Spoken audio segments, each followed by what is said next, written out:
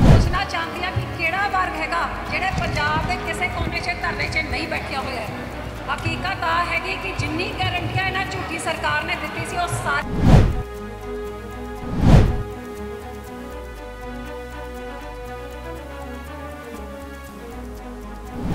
ਪੰਜਾਬ ਦੇ ਲੋਕਾਂ ਦੇ ਪੈਸੇ ਇਹ ਕੇਜਰੀਵਾਲ ਸਰਕਾਰ ਤੇ ਭਗਵੰਤ ਮਾਨ ਨੇ ਪੰਜਾਬ ਦਾ ਹੱਕ ਵੇਚਤਾ ਤੇ ਬਿਲਕੁਲ ਧਰਨੇ ਅੱਜ ਇਹਨਾਂ ਇਸ ਸਰਕਾਰ ਦੇ ਖਿਲਾਫ ਜਿਵੇਂ ਮਨੋਜ ਸਿਸੋਦੀਆ ਅੰਦਰ ਹੋਇਆ ਹੈ, ਕਿਉਂ ਭਗਵੰਤ ਮਾਨ ਦੀ ਸਰਕਾਰ ਕਿਉਂ ਅੰਦਰ ਨਹੀਂ ਹੋਈ ਕਿਉਂਕਿ ਉਹਨਾਂ ਹੀ ਬੰਦਿਆਂ ਦੀ ਪਾਲਿਸੀ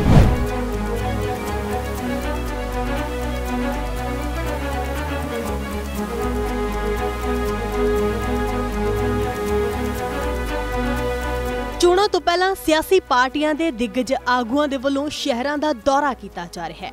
ਅਕਾਲੀ ਦਲ ਪ੍ਰਧਾਨ ਸੁਖਵੀਰ ਸਿੰਘ ਬਾਦਲ ਬੀਤੇ ਦਿਨ ਜਲੰਧਰ ਪਹੁੰਚੇ ਸੀ। ਉਹਨਾਂ ਤੋਂ ਬਾਅਦ ਉਹਨਾਂ ਦੀ ਪਤਨੀ, ਸਾਬਕਾ ਕੇਂਦਰੀ ਮੰਤਰੀ ਹਰਸਿਮਰਤ ਕੌਰ ਬਾਦਲ ਦੇ ਵੱਲੋਂ ਹਲਕੇ ਦੇ ਆਗੂ ਚੰਦਨ ਗਰੇਵਾਲ ਦੇ ਨਾਲ ਸ਼ਹਿਰ ਦੇ ਵਸ਼ੀਰਪੁਰਾ ਇਲਾਕੇ ਦੇ ਵਿੱਚ ਉਹ ਪੁੱਜੇ।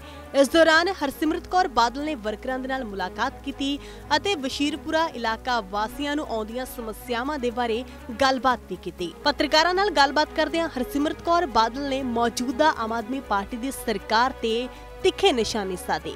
ਹਰਸਿਮਰਤ ਕੌਰ ਬਾਦਲ ਨੇ ਕਿਹਾ ਕਿ ਪੰਜਾਬ ਦੇ ਵਿੱਚ ਜਿਸ ਤਰ੍ਹਾਂ ਗੈਂਗਸਟਰ ਅਤੇ ਲੁਟੇਰੇ ਸ਼ਰੇਆਮ ਦਿਨ ਦਿਹਾੜੇ ਵੱਡੀਆਂ ਘਟਨਾਵਾਂ ਨੂੰ ਅੰਜਾਮ ਦੇ ਰਹੇ ਨੇ, ਉਸ ਤੋਂ ਸਾਫ਼ ਜ਼ਾਹਿਰ ਹੁੰਦਾ ਹੈ ਕਿ ਪੰਜਾਬ ਦੇ ਵਿੱਚ ਆਮ ਆਦਮੀ ਪਾਰਟੀ ਦੀ ਸਰਕਾਰ ਚੱਲਣ ਦੇ ਵਿੱਚ ਨਾਕਾਮ ਰਹੀ ਹੈ। ਇਸ ਤੋਂ ਇਲਾਵਾ ਉਹਨਾਂ ਨੇ ਦਿੱਲੀ ਦੀ ਆਬਕਾਰੀ ਨੀਤੀ ਨੂੰ ਲੈ ਕੇ ਵੀ ਸਵਾਲ ਖੜੇ ਕੀਤੇ ਨੇ। ਉਹਨਾਂ ਦਾ ਕਹਿਣਾ ਹੈ ਕਿ ਜੇਕਰ ਮਨੀਸ਼ ਸਿਸੋਦੀਆ ਦੀ ਗ੍ਰਿਫਤਾਰੀ ਹੋਈ ਹੈ, ਤਾਂ ਉਸੇ ਉਸੇ ਤਰੀਕੇ ਦੇ ਨਾਲ ਪੰਜਾਬ ਦੇ ਵਿੱਚ ਵੀ ਕਾਰਵਾਈ ਹੋਵੇ, ਕਿਉਂਕਿ ਦਿੱਲੀ ਦੀ ਆਬਕਾਰੀ ਨੀਤੀ ਹੀ ਪੰਜਾਬ ਦੇ ਵਿੱਚ ਲਾਗੂ ਕੀਤੀ ਗਈ।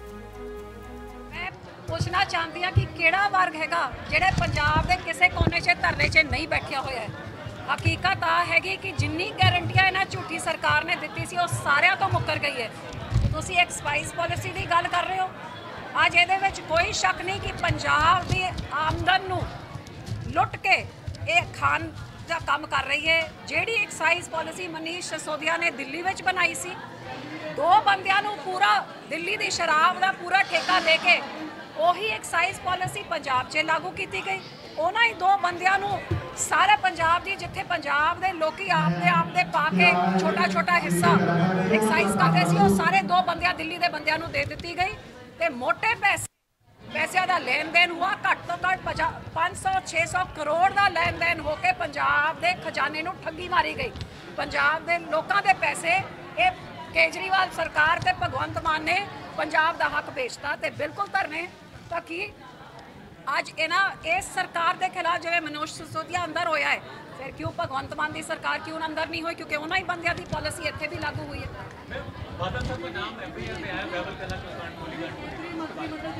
ਸੋ ਯਹੀ ਤੋਂ ਮੈਂ ਕਹਿਣਾ ਕਹਿਣਾ ਚਾਹੁੰਦੀ ਹਾਂ ਕਿ ਜਿੱਥੇ ਬਦਲਾਖੋਰੀ ਹੁੰਦੀ ਹੈ ਕਾਨੂੰਨ ਵਿਵਸਥਾ ਦੇ ਨਾਲ ਕੋਈ ਮਤਲਬ ਨਹੀਂ ਆ ਜਿੱਥੇ ਪੰਜਾਬ ਦੇ ਥਾਣਿਆਂ ਦੇ ਉੱਤੇ ਕਬਜ਼ੇ ਹੋ ਰਹੇ ਨੇ ਪੁਲਿਸ ਦਾ ਸਿਰ ਪਾੜਿਆ ਜਾ ਰਿਹਾ ਹੈ ਲੇਕਿਨ 10 ਦਿਨਾਂ ਬਾਅਦ ਵੀ ਉਹਨਾਂ ਨੂੰ ਤਾਂ ਹੱਥ ਤਾਂ ਹੀ ਨਹੀਂ ਲਾਇਆ ਜਾ ਰਿਹਾ ਦੂਜੇ ਪਾਸੇ 8 ਸਾਲ ਪੁਰਾਣਾ ਕੇਸ ਜਿੱਥੇ ਇੱਕ ਬੰਦੇ ਦੀ ਲੱਤ 'ਚ ਗੋਲੀ ਵੱਜੀ ਸੀ ਕੋਈ ਮਰਿਆ ਵੀ ਨਹੀਂ ਇੱਕ ਬੰਦੇ ਦੀ ਗੋਲੀ ਲੱਤ 'ਚ 8 ਸਾਲ ਪਹਿਲੇ।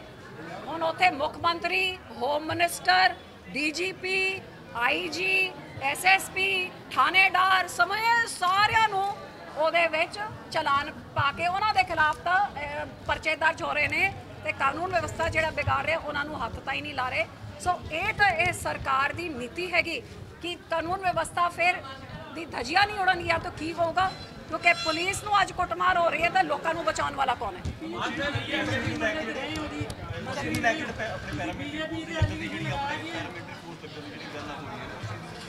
ਦੇਖੋ ਭਗਵੰਤ ਮਾਨ ਨੇ, ਮੁੱਖ ਮੰਤਰੀ ਨੇ ਖੁਦ ਹੀ ਐਕਸੈਪਟ ਕਰ ਲਿਆ ਕਿ ਮੇਰੇ ਹੱਥ ਖੜੇ ਨੇ, ਮੈਂ ਪੰਜਾਬ ਦੀ ਕਾਨੂੰਨ ਵਿਵਸਥਾ ਨੂੰ ਕੰਟਰੋਲ ਕਰਨ 'ਚ ਪੂਰੀ ਤਰ੍ਹਾਂ ਅਸਮਰਥ ਹਾਂ। ਜਦ ਇਹ ਮੁੱਖ ਮੰਤਰੀ ਬਣਿਆ ਸੀ, ਜਾ ਕੇ ਅੱਧਾ ਪੰਜਾਬ ਜਾ ਕੇ ਹੋਮ ਮਿਨਿਸਟਰ ਦੇ ਹਵਾਲੇ ਬੀਐਸਐਫ ਦੇ ਦਾਰੇ ਕਰ ਗਿਆ। ਤੇ ਹੁਣ ਜਾ ਕੇ ਸੈਂਟਰਲ ਫੋਰਸਸ ਮੰਗ ਕੇ ਇਹਨੇ ਐਡਮਿਟ ਕਰਤਾ ਕਿ ਮੇਰੀ ਪੁਲਿਸ ਵੀ ਮੈਂ ਫੇਲ ਕਰਤੀ ਮੈਂ ਆਪ ਵੀ ਫੇਲ ਤੁਸੀਂ ਪੰਜਾਬ ਨੂੰ ਆਪਣੇ ਹੱਥ 'ਚ ਕਰ ਲਓ। ਹੁਣ ਦੇਖਦੇ ਆ ਕਿ ਇਹਨਾਂ ਦੇ ਨਾਲ ਅੱਗੇ ਕੀ ਹੁੰਦਾ ਜਲੰਧਰ ਤੋਂ ਮਨਵੀਰ ਸੱਭਰਵਾਲ ਦੀ ਰਿਪੋਰਟ।